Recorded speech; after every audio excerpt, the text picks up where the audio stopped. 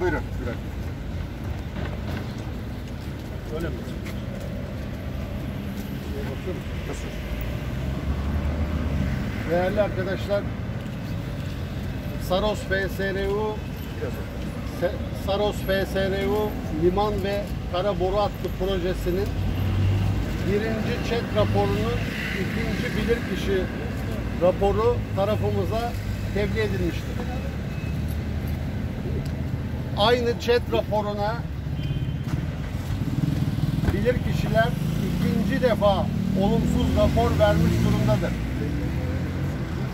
Bilirkişi raporunda 48 sayfa içerisinde yaklaşık olarak bizler 60 ayrı bilime, hukuka aykırılığı tespit etmiş bulunmaktayız. Bunları tek tek size saymak çok uzun zaman alacaktır. Ancak kıyı yapılarından dip dalga araştırmalarına, orman ekosistemindeki araştırmaların yetersizliğinden yanan orman alanlarına bu projenin monte edilmesine, tarım, jeo- jeoloji, hidrojeoloji, orman, flora, fauna, inşaat çalışması gibi en temel alanlardaki bu hukuksuzluk bu bilimsel bilirkişi ortak raporuyla da kesin olarak ve bilimsel olarak kanıtlanmıştır.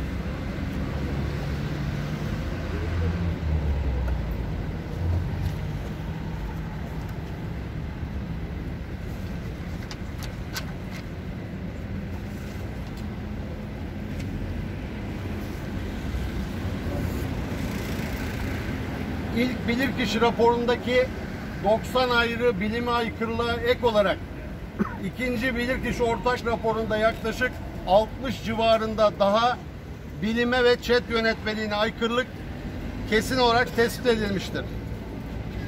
Şimdi Sarozlular olarak, Keşanlılar, Trakyalılar olarak BOTAŞ'a ve Çevre Şehircilik Bakanlığı'na bir kez daha soruyoruz. BOTAŞ'ın ve Çevre Şehircilik Bakanlığı'nın bilime ve hukuka kulak vermesi için daha kaç bilirkişi raporu gerekmektedir?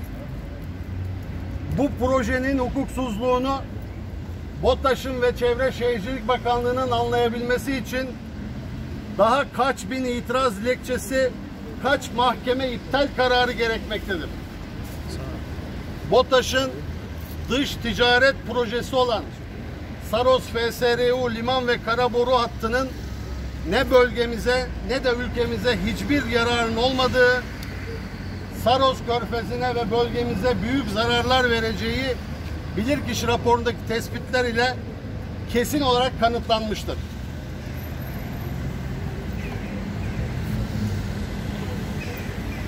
Bilime ve hukuka bu kadar çok yönden aykırı bu projedeki ısrar nedeniyle müvekkillerimizin tarım arazileri dozerlerle mahvedilmiş olup ata mirası toprakları acele kamulaştırmalarla ellerinden alınmak istenmektedir.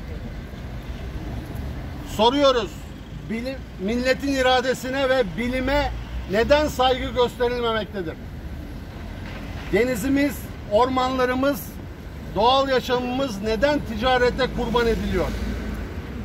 Kamu yararına çalışması gereken BOTAŞ'ın ve çevreyi korumakla görevli Çevre ve Şehircilik Bakanlığı'nın bilirkişi raporundaki bu bilimsel tespitlere göre Saros FSRU liman ve kara boru hattı inşaatını ve projesini acilen durdurmasını ve iptal etmesini bölgedeki yurttaşlar olarak talep ediyoruz. Teşekkür ederim. O taş Saroz'dan çık. O taş Saroz'dan çık.